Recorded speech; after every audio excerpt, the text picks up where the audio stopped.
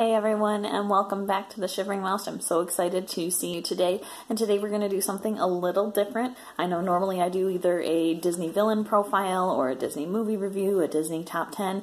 Today we're going to talk about a different way to get ready for Disney. And I know if you listen to my podcast, if you watch my other videos, getting ready for Disney is always kind of the main plan involved here. And so today's Get Ready for Disney plan involves getting Disney fit. I'm going to call this segment Pudge to Princess. Pudge is the cute little chubby fish that Lilo on Lilo and Stitch brings sandwiches to, and Princess, of course, needs no description. However, Princess also can refer to, in my case, I'm flexibly, tentatively putting it out there, the Disney Princess Half Marathon. Now, if you're looking at me and you're thinking I look a little more Disney dining than Run Disney, you're absolutely right. And that's part of the point. Um, I kind of want to run a real run just to say that I have. And um, I think Disney would be the place that's inspirational enough to get me to do that. My problem with weight has very little to do with head knowledge. I have you know, gone to school for medical careers for health. I know what to do. I am an emotional eater, and so I need a stronger emotion to rule out the part of me that says, oh my gosh, that chocolate looks fantastic.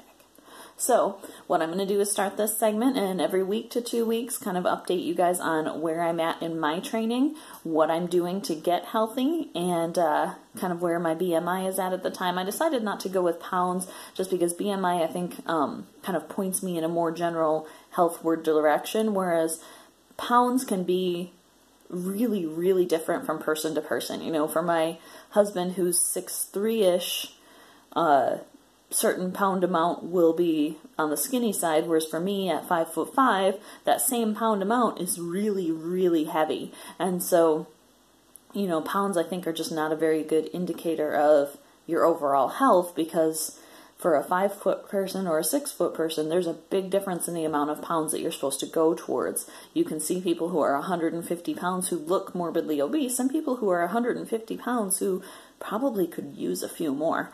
And so, I just didn't think it was a very good, accurate indicator of where we're at in this journey. So I wanted to kind of stick to BMI because that's something a little more straightforward. For those of you who don't know, that is the amount of pounds you weigh compared to your height to determine what your body fat percentage is. It is not the most accurate way to tell because it doesn't take into account muscle mass and bone density, but without seeing an actual doctor every single week, which would be insanely expensive, this was the best overall way I could think of to do this. Now, my current BMI is 41.1, so you heard me right. Almost half of my body is globular, disgusting fat.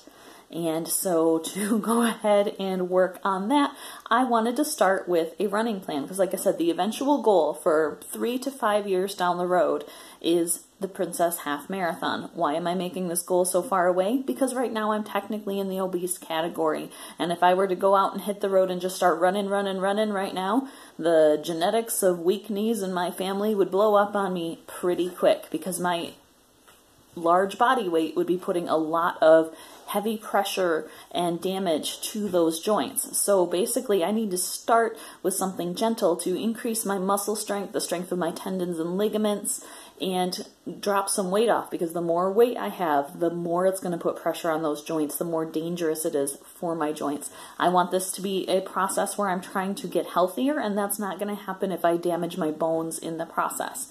Also, I'm coming from somebody with a history of, you know, my my pulmonary embolism, my blood clot, and so my uh, cardiovascular and respiratory system probably need a little bit of TLC throughout this process as well.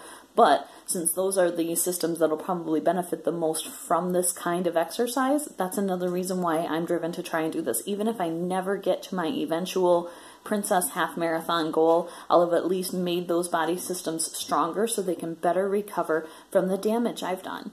And so overall, I just thought this was a good goal to hang on to. And the first part of that is going to involve, you know, losing some weight so that I can exercise harder in a safer way. So, having thought of that, I did a lot of research into running plans and, of course, did a lot of research into how to do a running plan when you are obese, and that involved starting with like a pre-running running plan which was actually longer than the running plan training that's why i have my my eventual goals so far out for that three to five years because the first year at least probably will just be losing the actual weight so that I can move from walking to running. Um, right now, I can run short distances. I'm halfway halfway good sprinter, really, but not for very far. I can go far enough to catch my puppies, and that's about it. Um, I can walk pretty much indefinitely. I don't really have any trouble walking. I'm not short of breath or anything like that. I don't have diabetes. I don't have high blood pressure. No pre existing conditions really to worry about. So it's safe for me to kind of start this journey. But again, because of you know, joints and my weight, I want to start a little more gentle. So this week's training program is pretty straightforward, just adding an extra half hour of walking to every single day. Now that's half an hour, and since it's at a walking pace, I'm probably going to say it's going to be between two, two and a half, maybe three miles as I speed up. So we're adding that half an hour every day for our training. Another point that I want to add for our training is add more water to your diet. Most Americans don't get enough water. We like to drink pop, we like to drink coffee. I hate coffee, so that makes this a little easier for me. Um, but definitely, you want to stick with a lot of water. A lot of people say the ultimate goal is, you know, one ounce for every two pounds you weigh. I think that's kind of ridiculous if you, you know, want to do something with your life. So, besides drink water, but uh, try to get as much in there as you can you want to be able to have your body function at the best kind of level that it can with your current health if you want to go ahead and improve your health. I'm so excited to see if any of you guys go ahead and do this training with me because that would be really fun. Um, you know, it's not just about losing weight, it's kind of about holding myself accountable and taking what for me is normally head knowledge. I've always known in my head how to lose the weight and putting it into practice and kind of making the emotional eating side of me shut up so that I can reach this eventual goal. And what is a better way to inspire you to do that than Disney? I mean, for me, that's, I mean, you know, I have a Disney podcast, I have other Disney YouTube videos. I'm very motivated by Disney, and I don't want to be one of those people who has to ride their little scooter around Disney, not because of a joint problem or they broke their leg, but just because I'm too tired to walk that far. I'm too out of shape to walk that far. I don't want to be that person. I'm not that person. I've never been that person, but I don't want to go there. I don't want to start now. I have a lot of other stuff to do. You know, I'm a busy girl. So, you know, this is kind of my proposal to you and I'm frankly going to do it whether you guys join me or not, but I just thought I'd kind of update you every week on where we're at, and hopefully you guys have some comparisons to bring to the table, some new ideas, and maybe you'll go ahead and train with me because I think it'd be pretty cool if anybody else who is in kind of a less fit chapter of their life wanted to kind of recover from that with me and it'd be really really fun. I love the format of talking to you about once a week or or once every 2 weeks about it just because when you have an accountability partner who sees you every single day, they don't really catch that change because it's so gradual. So I thought this might be a more fun way to do it and I look forward to training together and seeing if we can go ahead and both get healthier throughout the process. I think it'll be a lot of fun now that I have somebody there with me. And frankly, again, checking in every week tends to make me feel more responsible. I've done a weight loss program before where I lost quite a bit of weight, and the reason why it worked is because I knew at the end of the week, every week, I had to check in with my nutritionist.